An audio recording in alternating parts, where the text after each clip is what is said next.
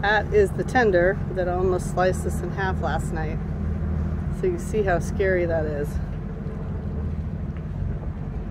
Lesson learned.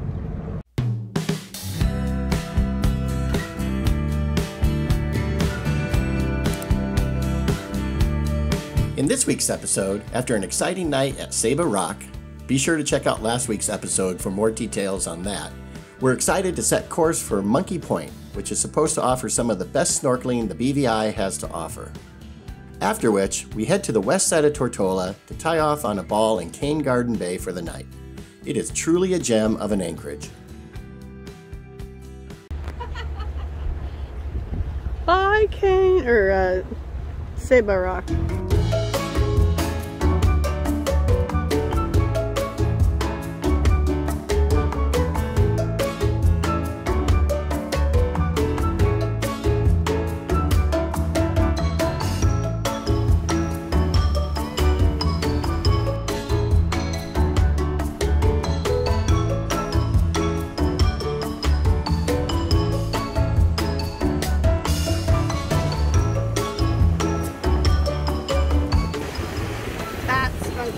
There.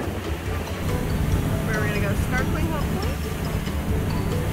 Great job, team. We are now here at Monkey Point. So the markers that are over there, they're going to be on. Right.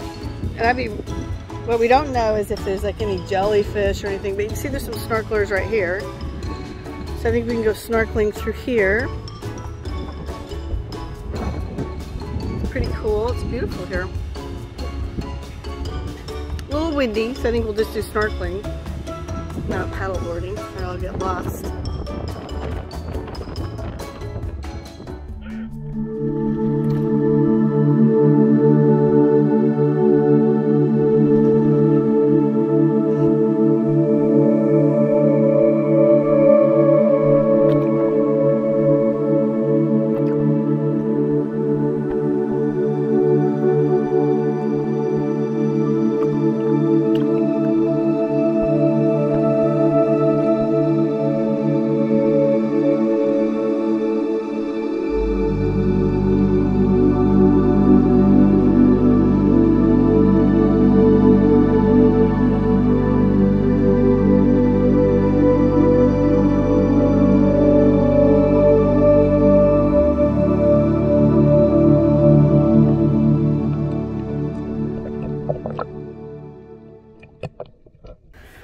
Was snorkeling? It was a little disappointing.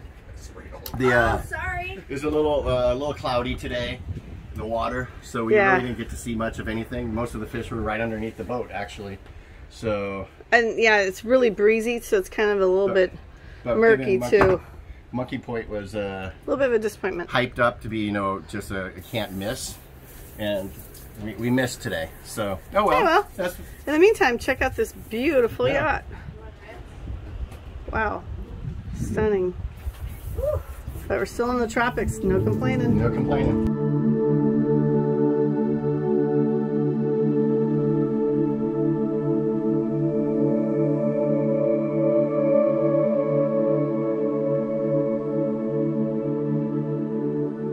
Cheers. Cheers.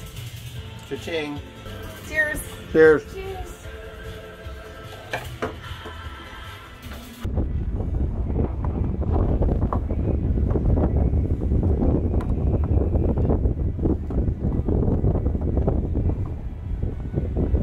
Okay. Clear. Pull it tight. Pull it tight. There we go. Yes. You did it. That looks good. Perfect. High five. Ah.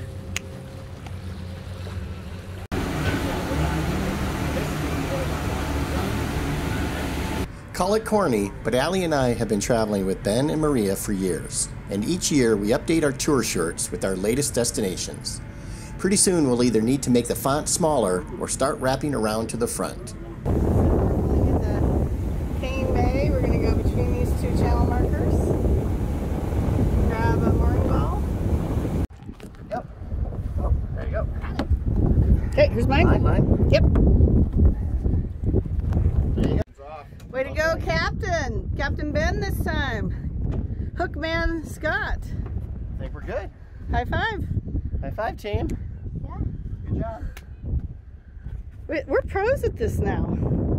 We took the afternoon off to enjoy the blue green waters of Cane Garden Bay before taking the dinghy into town to look for some dinner. So what we decide is the plan here? We're gonna go here, but the door's closed. Oh, yeah. So it is Monday. A lot of restaurants. Five to seven though. Is it five o'clock? I don't have a. I don't have a. Did, did it say 5 to 7? Oh, 59. Oh, So you have to remember that a lot of places are closed on Mondays. That's even standard in the U.S. for um, restaurants. But let's just keep Walking walking. yeah. Paradise Bar, two for seven. I'm gonna spray myself. I just... This looks like a fun place. Al, you gotta get a picture in there. I'm too short. No, I'm sure they got a little stool back there. Oh God! Don't kill yourself. Okay. He was photobombing you. Got it.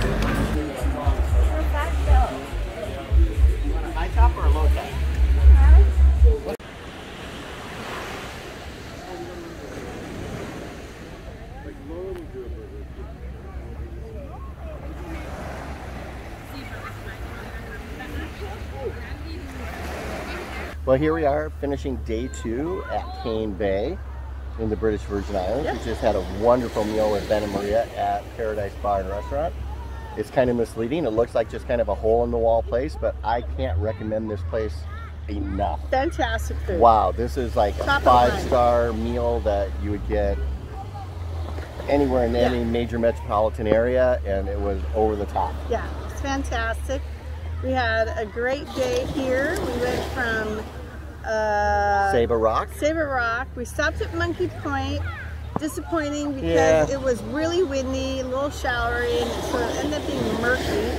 Yeah, the water was murky, so we didn't really get a good snorkeling in, But we tried. but we tried. And then we came through the passage and we came here to Cane Bay and uh, we hung out, we swam in the water, we just relaxed, had a great day. We ended up showering and coming here for dinner. And as you can see, uh, look at the uh, look at what a beautiful night. I mean, it's stunning.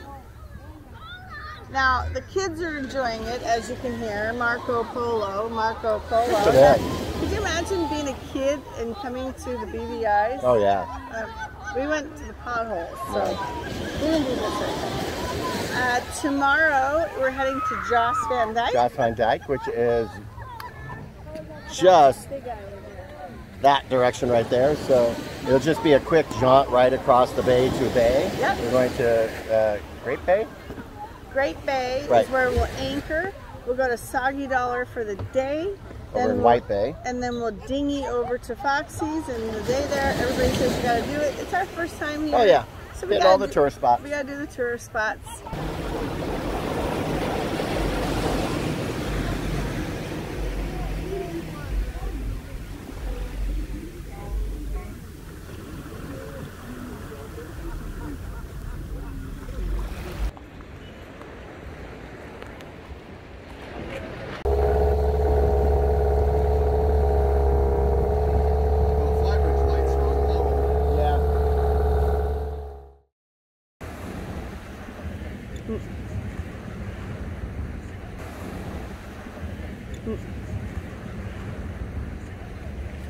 That's funny. Yeah. We got another group that's here he comes. Oh, that, that's a different bird. Oh, it's Tim Bird. Oh, he's gonna dive, maybe. Oh, he's gonna dive. On our way to get some breakfast, checking out Rhymers, right next to Paradise where we had dinner last night. Just seeing if uh, Rhymers has a different menu than what Paradise is offering.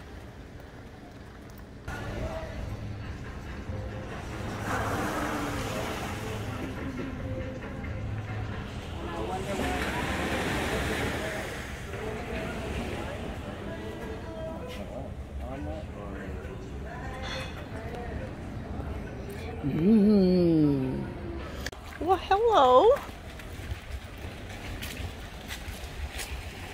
Get out of the way. You're gonna get hit. Yeah. I'm assuming he's friendly. After breakfast, we strolled over to the Callwood Distillery. The distillery has been in the Callwood family since sometime around the late 1800s and is the only continuously working rum distillery left in the BVI. We enjoyed a great rum tasting, including their world famous panty dropper, Local say when the ladies drink, they should take the panties off. and of course, we had to leave our tag. If you ever visit the Callwood Distillery, check it out. We really appreciate you guys following. If you like this video, give it a thumbs up. Leave your comments down below. You know all that other You know all stuff. the good stuff. And uh, we're excited to hear everyone's comments. You guys have been fantastic during this whole trip on social media, which is at Boating Journey. And we will see you next time. See you guys.